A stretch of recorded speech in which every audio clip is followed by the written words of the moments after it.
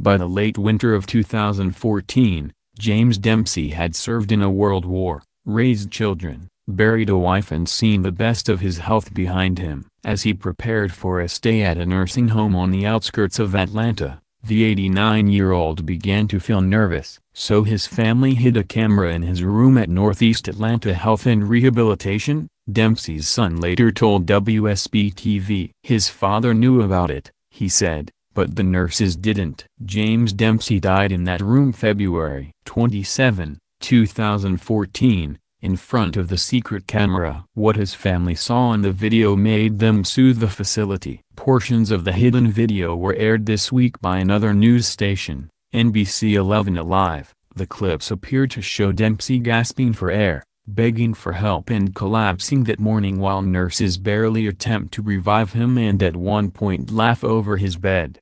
Florida nursing home where eight died after Hurricane Irma defends actions. At 4.34 a.m., on the last day of his life, Dempsey threw one skinny leg over the edge of his hospital bed. He pressed a button to call a nurse and croaked three times to an empty room, help me, help me, help me. A few seconds passed. Help me, help me, help. The only immediate answer was the soft murmur of a TV. As seen in NBC's video, a worker entered the room eight minutes after that call. The worker adjusted Dempsey's bed and inspected some tubes around his neck, then turned off his call light and left him alone. In a deposition more than a year later, which the NBC station also aired, the video was shown to Wanda Knuckles, the nursing supervisor on duty that night. Would you agree it appears as though he's gasping for air? The questioner asked Knuckles. It looks like it, she said quietly as she watched. Is that an emergency situation, ma'am? Yep. Yes. How's it make you feel to watch this ma'am? Sick. Maryland among worst in nation in investigating nursing home complaints on time. Feds say. Staff returned to the room nearly an hour later and found Dempsey unconscious. The NBC station reported. Nearly another full hour passed before anyone called 911, according to the station. At that point, Knuckles herself was called up to the room. Earlier in her deposition, Knuckles testified that she ran across the nursing home's courtyard to Dempsey's room, where she said she and a second nurse took turns performing constant CPR. Unless a doctor says stop, you have to continue.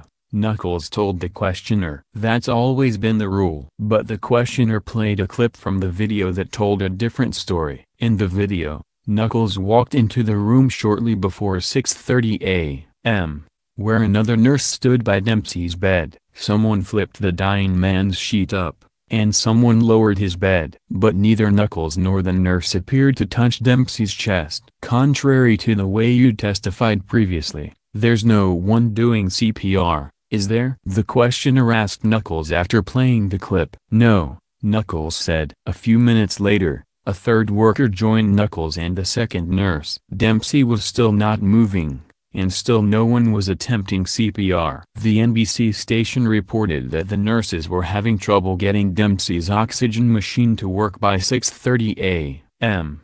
At which point in the video Knuckles pressed both hands onto Dempsey's mattress and someone laughed. Ma'am, is there something funny that was happening? The questioner asked Knuckles in the deposition. I have no clue, sir, she said. I can't even remember all that. A minute later, Knuckles finally attempted CPR on Dempsey. She pumped his chest half a dozen times in the video, then stopped. Dempsey's family sued the facility but then settled and wouldn't comment to NBC about the video which the station obtained after its own legal fight with Northeast Atlanta Health and Rehabilitation. The nursing home tried to have the video sealed by a court, the station reported, and only released it on a judge's order. A spokesman for Sava Senior Care, which owns the facility, told the station it was saddened by the events, which occurred more than three years ago and had since worked to improve its service. A worker who answered at the facility said staff members weren't allowed to talk about the events. Knuckles and the other nurse in the video lost their licenses after the Georgia Board of Nursing learned of the video last year.